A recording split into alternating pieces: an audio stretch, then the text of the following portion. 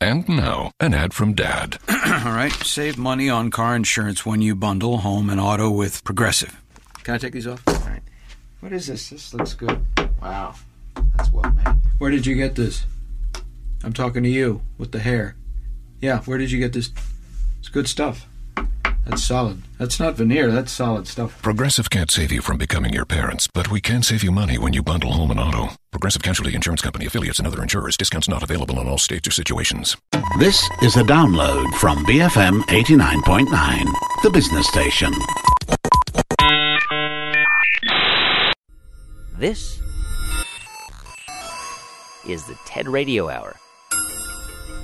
Each week, groundbreaking TED Talks. TED Talks. Um, TED. TED. Technology. Entertainment. Design. Design. Is that really what it stands for? I've never known that. Delivered at TED conferences around the world. It's The gift of the human imagination. We've had to believe in impossible things. The true nature of reality beckons from just beyond. Those talks, those ideas, adapted for radio. From NPR. I'm Guy Raz. Coming up. As we age, I think that we are afraid of suffering. Most people do want to live longer. We've got to do something that nobody has today. It's something that you did not think would ever be possible. But it's not inconceivable. Longevity happened to them. So you have to wonder what will my future be? This episode, The Fountain of Youth. First, the news.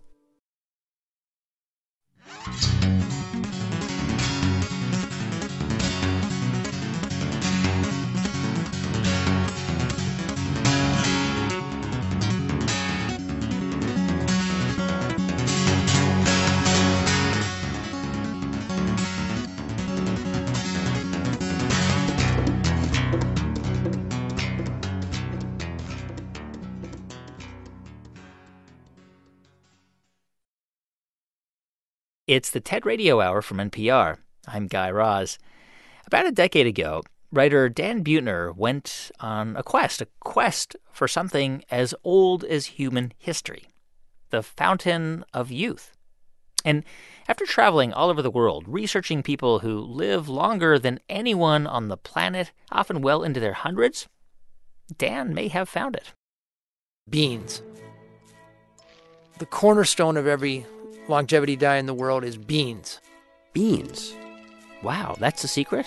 I argue that if Americans could eat about a cup of beans a day, uh, we'd see a life expectancy of our country go up from two to four years. Wow. Uh, ounce for ounce, as much protein as meat, yeah. full of antioxidants, fiber, and they actually set up your gut flora so that healthy bacteria can thrive instead of the bacteria that causes inflammation and obesity. Wow. They're amazing. Yeah. I make a great vegan chili with like five different beans and soy chorizo. It's awesome. I'm, I'm, I'm coming over. Yeah, I'm gonna make it tonight. Actually, I got navy beans, pinto beans. I got. Uh, okay, so so to be clear, beans alone won't do much for you, but they happen to be one of the common things that people in very specific places around the world tend to eat. Places Dan Buettner calls blue zones. Okinawa, Japan, the highlands of Sardinia, a small island off the coast of Turkey called Icaria, the Nicoya Peninsula of Costa Rica, and in the United States, the Seventh day Adventist in Loma Linda, California. People in all these places live longer on average than anyone else on the planet. And so, for most of the past decade, Dan's been working with physicians, demographers, and psychologists to try to understand why. Here's Dan's answer from the TED stage.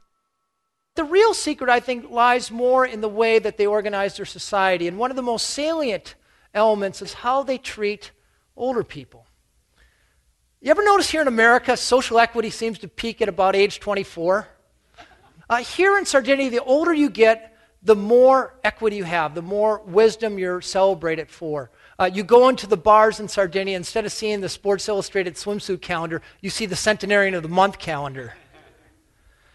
Typically in America, we've divided our adult life up into two uh, sections. There's our work life, where we're productive, and then one day, boom, we retire. And typically that is meant retiring to the easy chair or going down to Arizona to, to play golf. Uh, in the Okinawan language, there's not even a word for retirement. Instead, there's one word that imbues your entire life, and that word is ikigai. And roughly translated, it means the reason for which you wake up in the morning. Now imagine how that idea that waking up with purpose could be the secret to a longer life would have sounded just a century ago when, even in the developed world, you were lucky to make it past 50. But since 1900, global life expectancy has doubled, and researchers like Dan Buettner are just beginning to uncover how to push it further. So, today on the show, the scientific breakthroughs and the ideas behind how we might all live longer and even better lives. How, in some ways, we're getting closer to the fountain of youth.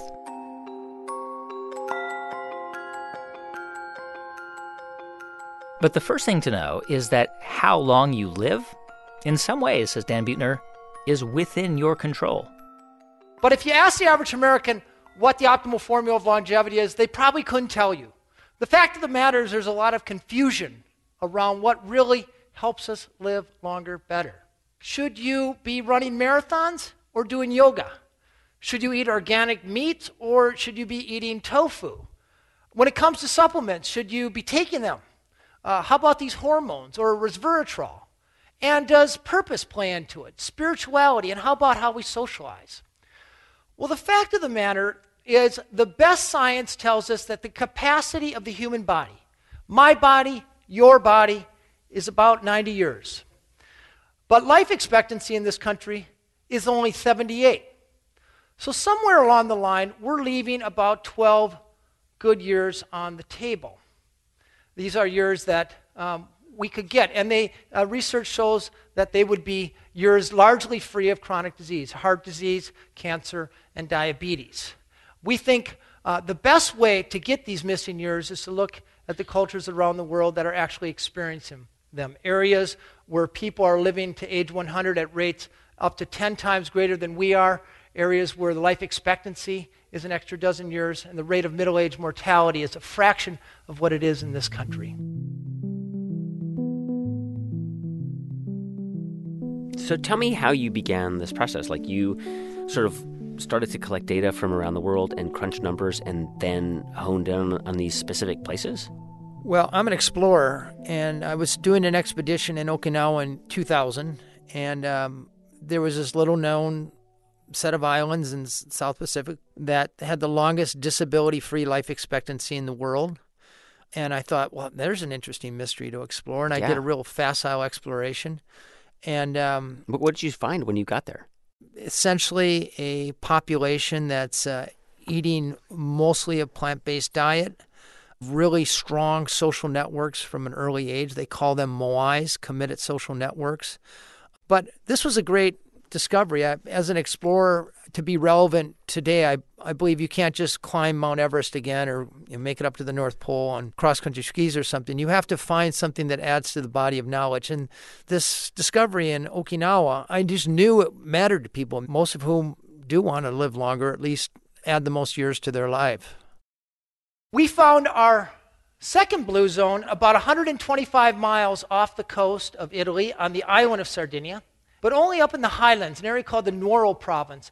And this is a place where people not only reach age 100, they do so with extraordinary vigor. Their history actually goes back to about the time of Christ. It's actually a Bronze Age culture that's been isolated. Because the land is so infertile, they're largely uh, shepherds, which occasions regular low intensity physical activity. Their diet is mostly plant based, accentuated with foods that they can carry into the fields. They came up with an unleavened whole wheat bread uh, called carta musica, made out of durum wheat, a type of cheese made from grass fed animals, so it's high in omega 3 fatty acids instead of omega 6 fatty acids from corn fed animals, and a type of wine that has three times the level of polyphenols than any known wine in the world. It's called Cannonau. Uh, the Sardinians live in vertical houses up and down the stairs. Every trip to the store or to church or to the friend's house occasions a walk when they do do intentional physical activity, it's things they enjoy. They tend to walk, and they all tend to have a garden.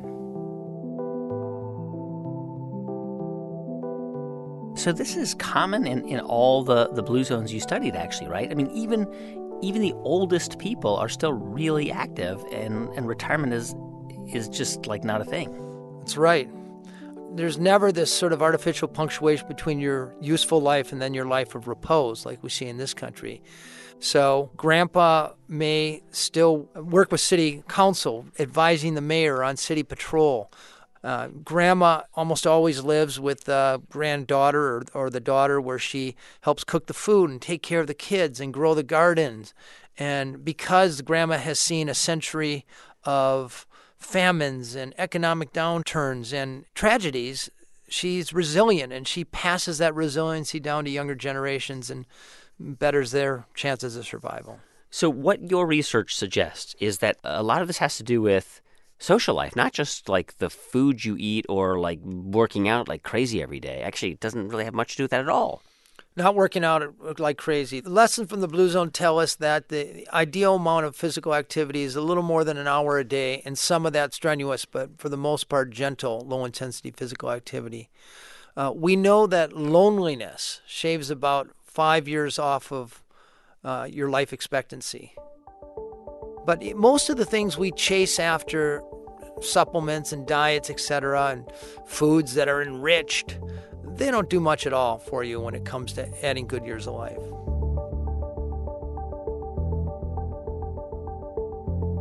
So, what are the common denominators in these cultures? What are the things that they all do?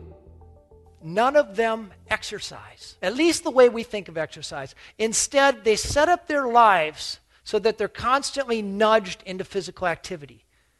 100 year old Okinawan women are getting up and down off the ground. They sit on the floor 30 or 40 times a day. They don't have any conveniences. There's not a button to push to do yard work or housework. If they want to mix up a cake, they're doing it by hand. They know how to set up their life in the right way so they have the right outlook. Each of these cultures take time to downshift. The Sardinians pray, the Seventh day Adventists pray, the Okinawans have this ancestor veneration. There's no longevity diet. Instead, these people drink a little bit every day, not a hard sell to the American population. They tend to eat a plant based diet. Doesn't mean they don't eat meat, but lots of beans and nuts. And then the foundation of all this is how they connect. They put their families first, take care of their children and their aging parents. And the biggest thing here is they also belong to the right tribe. They were either born into or they proactively surrounded themselves with the right people. We know from the Framingham studies that if your three best friends are obese, there's a 50% better chance that you'll be overweight. Instead, if, you if your friend's idea of, of recreation is physical activity, if your friends drink a little but not too much, and they eat right, and they're engaged, and they're trusting and trustworthy, that is going to have the biggest impact over time. How do the people who live in the blue zones think about their lives differently? Because they don't like they didn't know that they lived in blue zones until you told them that, right? Like they didn't like no. they were just like living their lives. They're like, "Hey, what are you doing here?" And like you're like, "I'm you're in a blue zone." They're like, "What? I'm living in Sardinia." None of them ever tried to live to be 100. They have no idea how they're living so long. Uh, none of them said at age 50, well, go darn it, I'm going to get on that longevity yeah. diet. Or none of them started doing push ups or getting supplements. Longevity happened to them it was a residue of, of their culture. Dan Buettner is now helping communities around the U.S. come up with their own Blue Zone projects, like building more sidewalks and bike lanes in L.A. He's planting 46 community gardens in Minnesota. He's even helped towns in Iowa restrict convenience stores around schools. So they don't have easy access to um, junk food. So the whole state of Iowa, the pork state, is becoming a blue zone. Hmm. Well, you can always make pork and beans. That's the best one I've heard in a long time. Coming up, a man who thinks of aging as a disease, a disease that could be cured. I'm Guy Raz, and you're listening to the TED Radio Hour from NPR.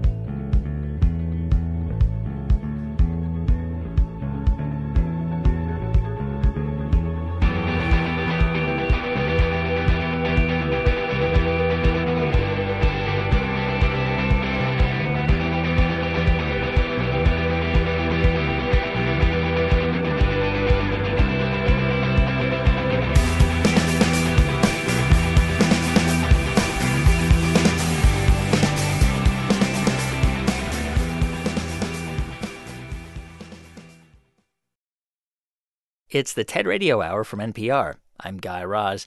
And on the show today, the fountain of youth, the science and the ideas behind the quest to keep us living long and youthful lives.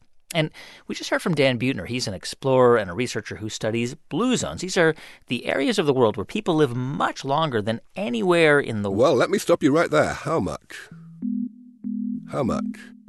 It's very important to look at the numbers here. Aubrey de Grey would argue the handful of extra years you can get from, say, a blue zone lifestyle is really pretty minor. People often laugh at the USA on this kind of thing because the USA spends far more money per capita on healthcare than any other country in the world. Right. And yet, if you look at the league table of life expectancy, it comes down in the 40s somewhere, like 45 or whatever. But then, if you look at the actual absolute numbers, the difference in lifespan between the USA and the number one country, Japan, guess what it is? Mm. Just guess. Go on. I don't know, four years, five years.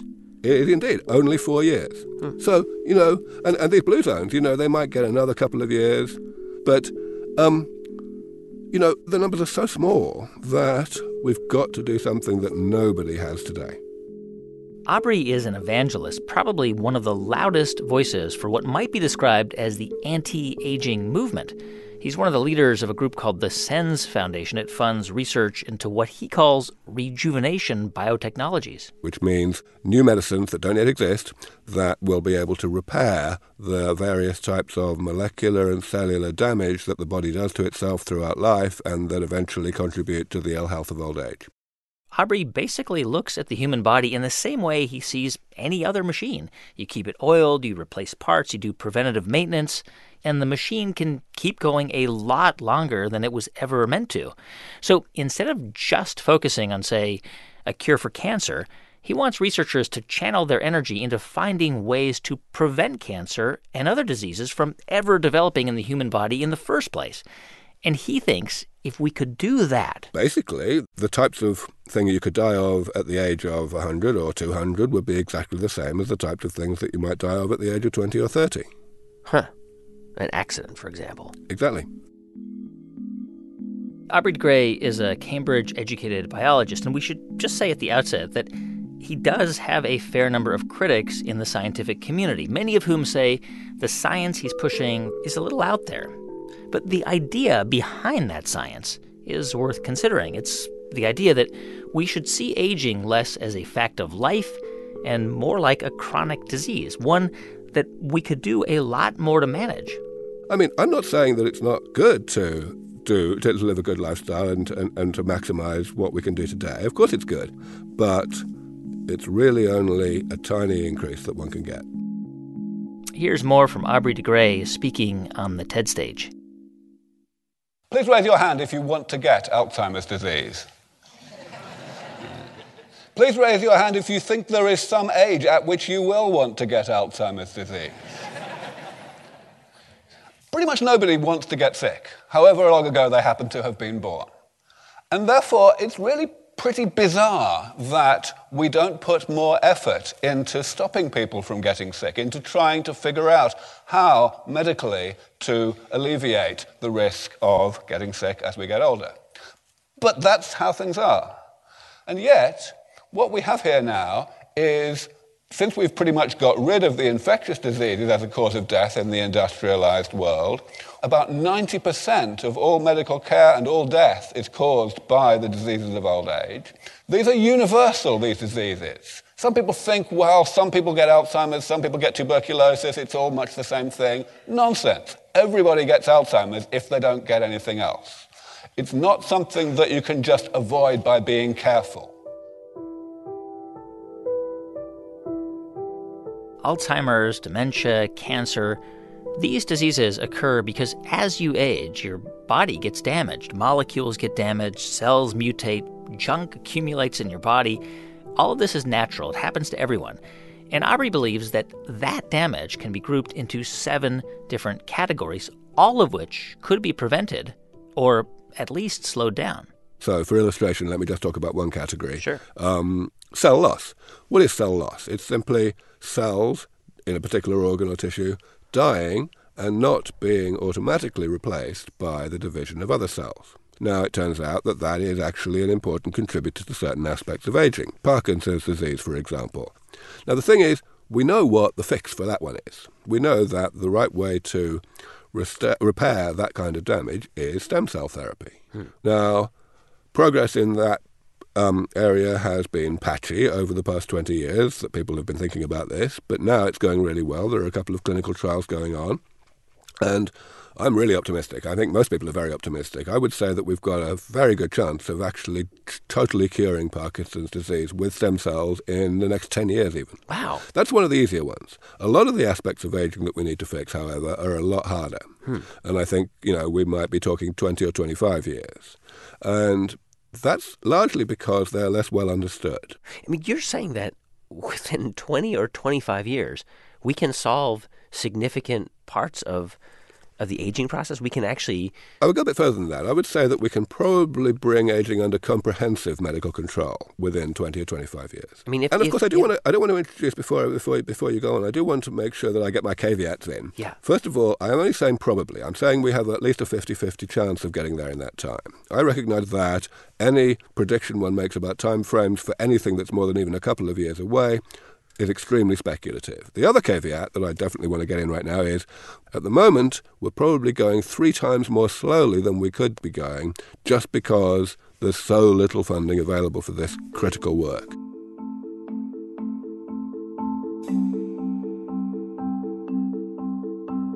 So I think it's all about this. I think it's that aging is so horrible, so scary, that we have found it necessary to put it out of our minds and pretend that it's not horrible at all. And it doesn't matter how we do that so long as we can, so long as we succeed in tricking ourselves into the idea that aging is a good thing, even though it doesn't look like a good thing. That made perfect sense. It was a rational thing to do until very recently. Because until very recently, nobody had any idea what to do about aging. But now we do. Now we are within a reasonable distance, within striking distance, of developing medicine that really brings aging under the same level of medical control that we have already today for most infectious diseases, like, you know, tuberculosis or whatever. It's like this people will refuse to think about whether it's actually a good idea to defeat aging because they say, well, it doesn't really matter whether it's a good idea or not, does it? Because we're never going to do it. But the same people at the same time will also say that we'll refuse to think about whether it's actually likely that we could do anything about aging anytime soon, because who cares? Because it's a bad idea. Right? So the pessimism about the desirability and the pessimism about the feasibility join together to perpetuate each other. Aubrey's foundation, SENS, has a yearly budget of about $4 million, which is not a lot of money in the world of medical research. And it's why you can find so many talks and interviews with Aubrey online. He is nothing if not tenacious. But what's interesting is that for a 52 year old guy who spends so much of his time talking about extending life, he says he really doesn't think about the end of his own. I really don't. I'm too busy. It just doesn't. It's not something that you're worried about. I, am not a worrier. I'm Yeah. just not that kind of guy. I'm, Yeah. a, I'm a practical guy. I like to get things done. I like to make a difference. Yeah. Do you think that? I mean, if in in a world where people didn't die or didn't die as quickly, that you know the sort of the I don't know, like That there some, but with some kind of cultural ossification. yeah, Well, I- Yeah. well, it's I mean, it's a fair question, but honestly, it's not the kind of question that keeps me up at night. Right. Because really, you know, first of all, even if we did have a problem like that, that's the kind of problem I'd like to have. Can one really seriously say that it's as serious as this horrible curse that generally is preceded by this long period of decrepitude and disease and decline and dependence and general misery? You know, it's crazy to think that way. People have just got to get their heads together and have a sense of proportion. But you're arguing that the right investment in certain scientific research couldn't just get us to 100 or 110, but it could get us to 110 playing tennis. That's exactly right. In fact, keeping up with your granddaughter on the dance floor. is that going to happen? Well, I've just told you it would. You, you, sound, you sound as though you don't quite believe I me. do, I do, but you can understand why it's still today in 2015 sounds like science fiction, right? Things that only have only a 50% chance of happening in 20 years from now are supposed to sound like science fiction.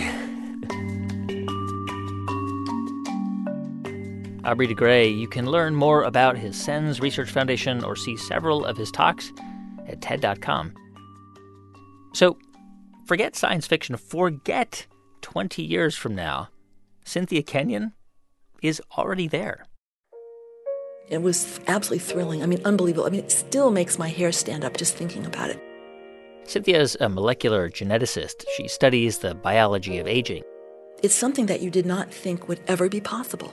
You would just get this feeling like you're looking into something that um, who knew was there. And I still feel that way. It's an amazing feeling. She's talking about a breakthrough in her lab, something she found in an unlikely specimen, a breakthrough that could change how long we humans live.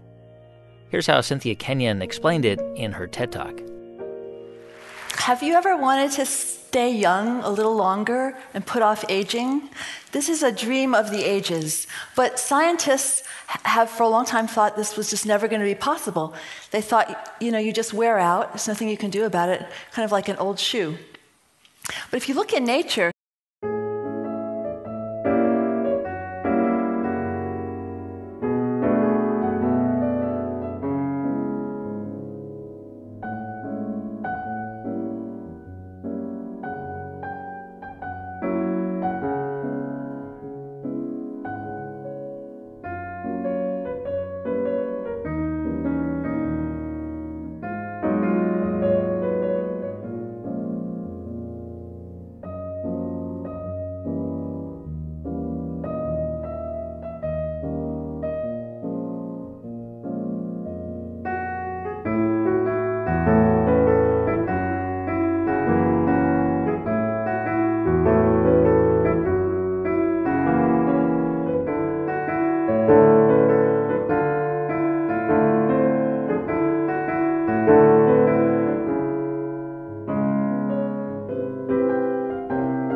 you see that different kinds of animals can have really different lifespans. Now, these animals are different from one another because they have different genes. So that suggests that somewhere in these genes, somewhere in the DNA, are genes for aging, genes that allow them to have different lifespans. So if there are genes like that, then you can imagine that if you could change one of the genes in an experiment, an aging gene, maybe you could slow down aging and extend lifespan. And if you could do that, then you could find the genes for aging. And if they exist and you can find them, then maybe one could eventually do something about it. So Cynthia decided to try, and of all the species to answer these questions, she started with worms, a very strange sounding worm. Caenorhabditis elegans, or C. elegans. And they're beautiful. They're shaped like little horses' tails. But they're tiny. They're about the size of a comma. A comma? A comma in a sentence, yeah. Very, Wow. very small. But they're really neat. They're cheap. You can grow lots of them. They have a very short lifespan. They only live a few weeks, but they get old. So that makes them very, very uh, practical for scientific studies of aging. And what Cynthia and other researchers did with these worms is nothing short of amazing. Because by changing a single gene that's called the DAF2, the C. elegans ended up living twice as long. And that was just the beginning. First, we doubled their lifespan. Then, we extended it by sixfold. And then another lab was able to extend the lifespan for 10 times as long. The normal average lifespan of a worm is 18 days. And these worms were 144 days old. Wow. Okay, so they were more, just almost 10 times as long as the average lifespan of a normal worm. In just two weeks, the normal worms are old. You can see the little head moving down at the bottom there, but everything else is just lying there. The animal's clearly in the nursing home. And if you look at the tissues of the animal, they're starting to deteriorate. You know, even if you've never seen one of these little C. elegans, which probably most of you haven't seen one, you can tell they're old. Isn't that interesting? So there's something about aging that's kind of universal. And now here is the DAF2 mutant. One gene is changed out of 20,000. It's the same age, but it's, it's not in the nursing home. It's going skiing. So it's aging, actually. This is what's really cool. It's aging more slowly. It takes this worm two days to age as much as the normal worm ages in one day. And when I tell people about this, they tend to think of maybe a, a 90 or 80 or 90 year old person who looks really good for being 90 or 80. But it's really more like this. Suppose you're, let's say you're a 30 year old guy, or 30 in your 30s, and you're, um, you're a bachelor and you're dating people, and you meet someone that you really like, you get to know her, and you're in a restaurant, and you say, Well, how old are you? She says, I'm 60. That's what it's like. And you would never know. You would never know until she told you. You would think to extend the lifespan of an animal for such a long time, you know, you'd have to kind of go around in a in a way and, and fix things or shore them up. You'd have to do something for the skin and something for the intestine, Yeah. something for the nervous system. You'd have to it would be really hard because old tissues all look old, but they all have their own separate problems. But what's the big surprise is that there are these systemic or system wide control circuits that you can tap into. And what happens is that there are circulating factors, factors in, in the blood, that can move through the animal and tell the, all the tissues to slow down their aging. Not to slow down their movement, but to slow down their aging. The great secret of all this is that you know, all animals are much more similar to one another than they are different. Worms have muscles, they have nerve cells, they have serotonin, they have acetylcholine, they have all the neurotransmitters we have, the very same ones.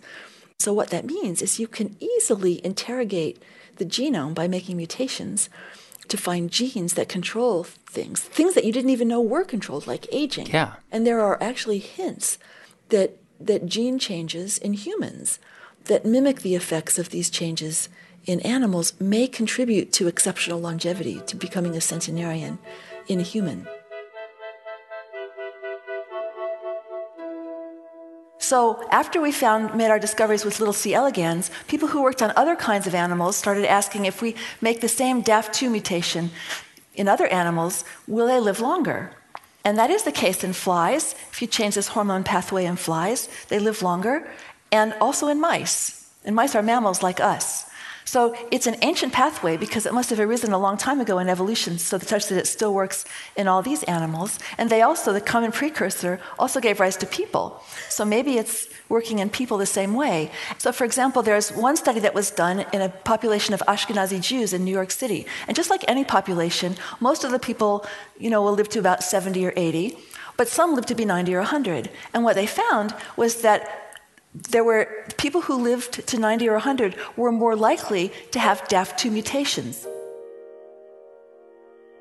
It's so interesting because you know the whole idea of a, of a fountain of youth is so steeped in human mythology, like like you know these mythical fountains that people would go and, and, and drink from. But it actually seems like I- I don't know, like we might actually be getting closer to that. I think so. And I think to great benefit. I think so, particularly because of this link between natural aging, which is a way bigger risk factor for, for example, cancer than smoking is. I mean, it's huge. Aging is such a risk factor. If we could, you know, slow it down, then we should be able to counteract all these diseases. And those, I mean, they, those worms did have a terrifically wonderful health span as well as lifespan. So we see it. So we know it can happen in these animals. Whether it can happen in, in people, we, we just don't know. But what I do think is that we can harness our body's own abilities that are kind of kept under wraps to allow the aging process to be slowed down. And, and that's the hope, is that we can do it in a way that counteracts lots of diseases and, and keeps us healthy right until the end. Cynthia Kenyon studies the biology of aging. You can see her entire talk at ted.npr.org. In a moment, could we evolve into a disease free species? I'm Guy Raz, and this is the TED Radio Hour from NPR.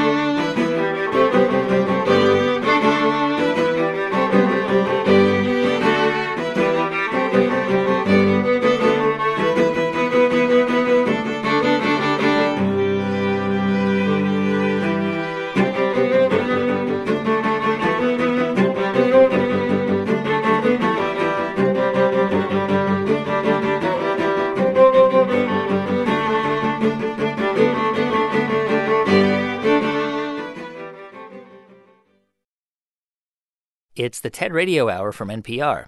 I'm Guy Raz. Our show today is about one of the things that humans have been searching for since the beginning of recorded history the fountain of youth. Suppose I said that with just a few changes in your genes, you could get a better memory, more precise, more accurate, and quicker. Or maybe you'd like to be more fit, stronger, with more stamina. How about living longer with good health? This is Harvey Fineberg speaking on the TED stage. He's a physician and a medical ethicist and the former dean of Harvard's medical school. Which would you like if you could have just one? How many would opt for memory? How about fitness? What about longevity? Ah, the majority. That makes me feel very good as a doctor. If you could have any one of these, it would be a very different world. All the hands went up when you asked that question. Yeah. Everybody wants to live longer. Most people do want to live longer. Yeah. But we want to live longer healthier. You know, we have a chronological age and we have a psychological age and we have a physical age, which is how many years compared to the average person are you in your state of health at a given age. We can't do anything about the chronological age. That's the passage of time. Yeah. We can do something about the psychological age and the physical age. How we live, what we eat, whether we exercise regularly. Those are the choices that are within our power today. That's today, and many of us do make those choices. But Harvey Fineberg has researched an entirely new world of choices we might someday have. Choices that might change how long we live and even how future humans evolve. Evolution does not necessarily favor the longest lived, or the strongest, or the fastest, and not even the smartest. Evolution favors those creatures best adapted to their environment. So, as we think about the place again of humans in evolution, I would say that there are a number of possibilities. The first is that we will not evolve. A second possibility is that there will be evolution of the traditional kind, natural, imposed by the forces of nature.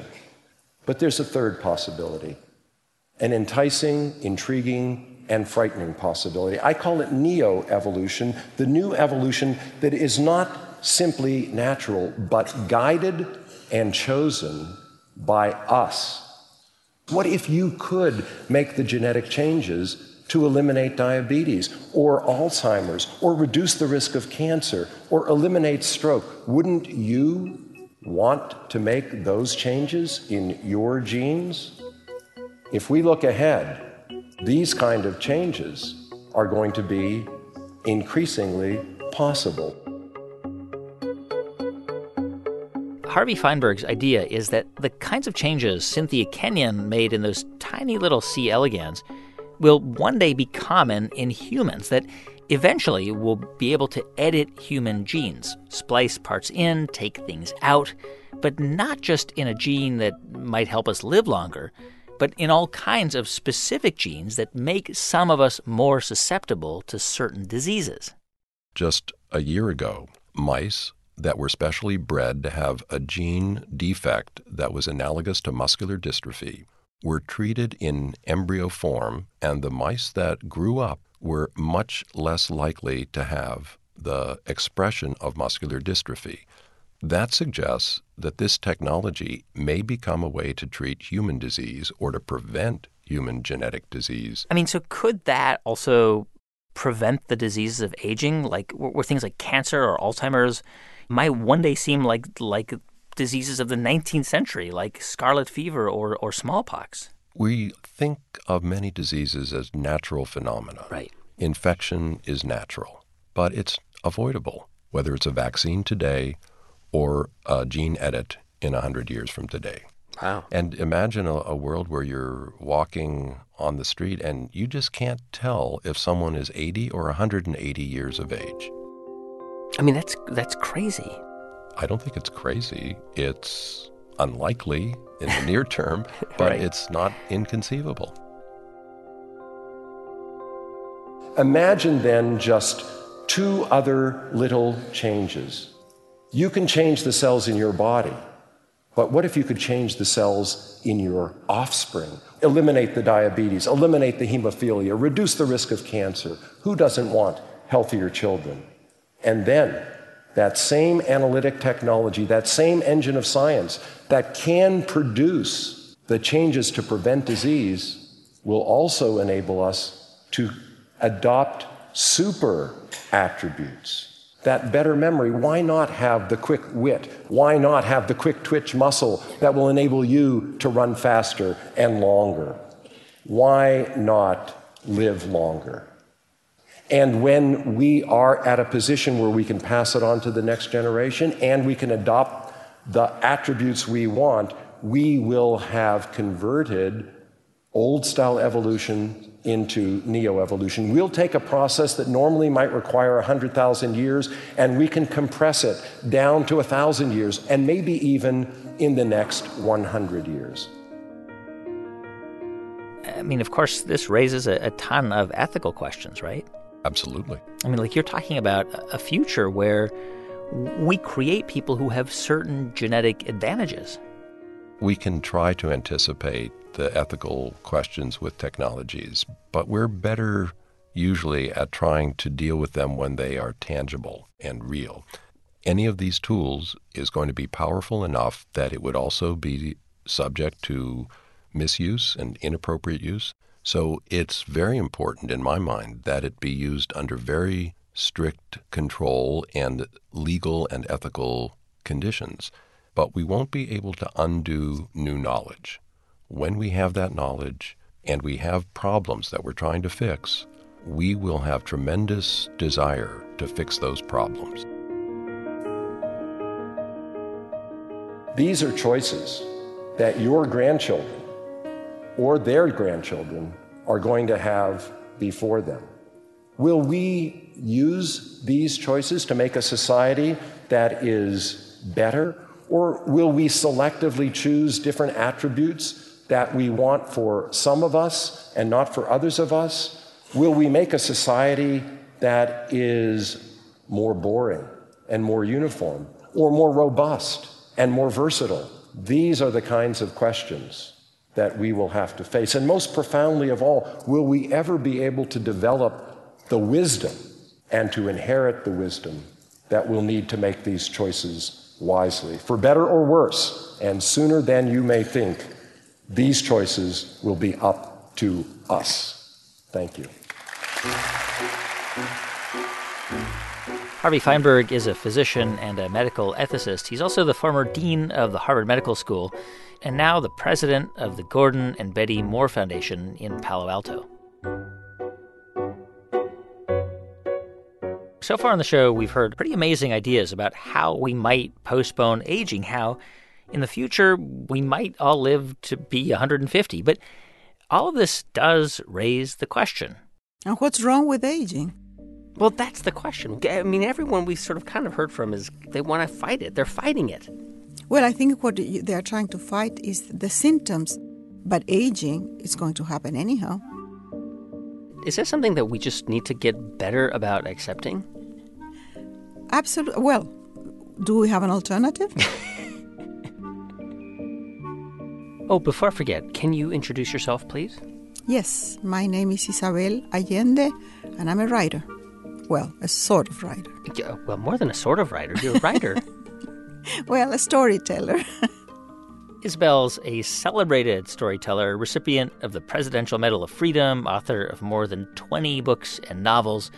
And now, in her early 70s, Isabel Allende has been thinking and writing a lot about getting older. When you see other people your age, do you think I'm the same age as them, or do you think, oh, they're they're older than me?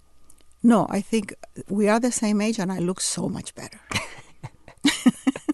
But of course, it takes discipline and money. But also, you know what it takes? Hmm. An attitude. An attitude of conquering the world, of being passionate about things. And that attitude, that is Isabel Allende's fountain of youth. Here she is on the TED stage. When do we start aging? Society decides when we are old, usually around 65 when we get Medicare. But we really start aging at birth. We're aging right now, and we all experience it differently. We all feel younger than our real age because the spirit never ages. I am still 17. Mary Oliver says in one of her poems, Tell me, what is it that you plan to do with your one wild and precious life? Me, I intend to live passionately. So, how can I stay passionate? I cannot will myself to be passionate at 71. I have been training for some time. And when I feel flat, I'm bored, I fake it. Attitude, attitude. How do I train? I train by saying yes to whatever comes my way drama, comedy, tragedy, love, death, losses. Yes to life. And I train by trying to stay in love. It doesn't always work, but you cannot blame me for trying. I think that when we are young, we feel that we own the world. And as life starts to push us to the margins, we lose that feeling. Hmm. If we could keep it older age would be much more fun. Why, why do we lose that feeling? Because you're pushed out. Suddenly you become invisible, especially women. If you look for a job, your age is a problem. If you look for a partner, your age is a problem too. Uh, if I had to put an ad in Match.com, what would I say? Short Latino grandmother looks for a lover? Give me a break. I wouldn't get a match like that. say like looking for magical realist relationship. that would be nice. Yeah, right? Yeah. But but I mean, when you you spoke about this, it was really refreshing because you're sort of saying, well, we're all going to age and we should just kind of accept it and make the best of it and understand that it can still be wonderful. Is that how you feel? Yes. I feel that way now. I don't know how I will feel in 20 years because my mother is 95 hmm. and my mother has the brain of a 30 year old person, but the body doesn't comply, doesn't accompany her in what she wants to do. My stepfather is 99 wow. and he's healthy, but his brain is gone. So you have to wonder what will my future be? But right now, I feel full of ideas. Uh, I want to write, I want to do things, I feel curious. I'm passionate about chocolate and wine and cheese and my dogs and, and my wonderful bed and my garden and the bay when I look at the bay from my window. So I, I am engaged in life right now. Um, also, be open to suffering, to pain, to discomfort. As we age, I think that we we are afraid of suffering. And how can you live? If you avoid suffering, then you are avoiding joy also. What have I lost in the last decades? People, of course, places, and the boundless energy of my youth. And I'm beginning to lose independence, and that scares me. What have I gained? Freedom. I don't have to prove anything anymore. I'm not stuck in the idea of who I was, who I want to be, or what other people expect me to be. I don't have to please men anymore, only animals. I feel lighter. I don't carry grudges, ambition, vanity. It's great to let go. I should have started sooner. And I also feel softer because I'm not scared of being um, vulnerable. I don't see it as weakness anymore. And I've gained spirituality. I'm aware that before, death was in the neighborhood. Now, it's next door or in my house. What do you wish that the younger you knew about uh, about getting older? I wish that the younger me would have known that it is an inexorable, unavoidable process, that nothing can stop it. and that I have to enjoy the body I have at that moment. I've always wanted to be different. I wanted to be a tall blonde with long legs. now, how do you achieve that if you are a Latino woman? It's, it's impossible. And I know that in 10 years, I will look at pictures of me now and I will say, wow, she looked pretty good for her age. I'm never going to look better than now. Exactly. This very moment. Yeah. Never. It just seems like state of mind is so important. Well, I think it's very important. I try to appear in front of everybody else as a very healthy and strong person. And that helps me b- believe that I am that. For example, my mother is a whiner. She's all the time she's all the time in pain. So we always had the idea that my mother was this very frail, ill person that would uh, not live long. She's strong as a bull. but the, the, what she projects and what she thinks of herself is frailty.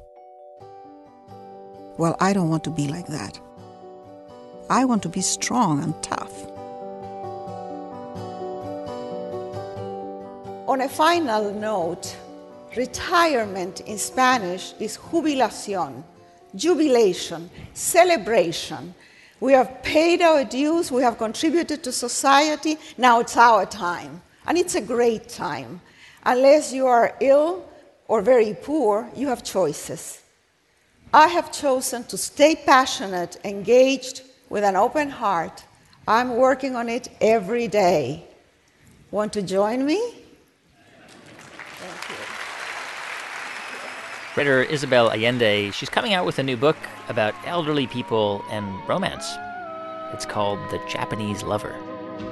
The moon has a few new wrinkles. He shines a bit more silver now than gold. I'm staying young. I'm staying young. But everyone around me's growing Thanks for listening to our show about the fountain of youth this week. Our production staff here at NPR includes Jeff Rogers, Brent Bachman, Meghan Keane, Neva Grant, and Janae West, with help from Barton Girdwood, Daniel Shukin, and Eric Newsom. Our partners at TED are Chris Anderson, June Cohen, Deron Triff, and Janet Lee.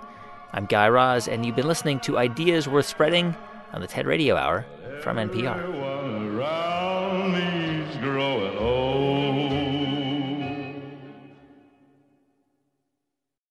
Thank you for listening to this podcast.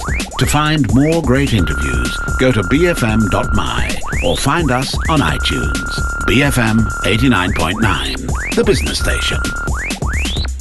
Hi, it's Jamie, Progressive number one, number two employee. Leave a message at the. Hey, Jamie, it's me, Jamie. This is your daily pep talk. I know it's been rough going ever since people found out about your a cappella group, Mad Harmony, but you will bounce back. I mean, you're the guy always helping people find coverage options with the Name Your Price tool. It should be you giving me the pep talk. Now get out there, hit that high note, and take Mad Harmony all the way to nationals this year. Sorry, it's pitchy. Progressive Casualty Insurance Company and affiliates. Price and coverage match limited by state law.